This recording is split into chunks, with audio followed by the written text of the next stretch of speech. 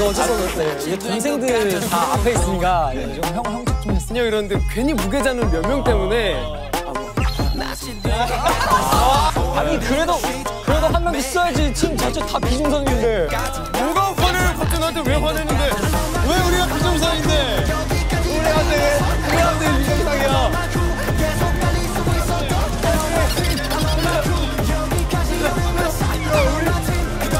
뭐가 비정상이야 우리가 다시 집에 한번 봐봐.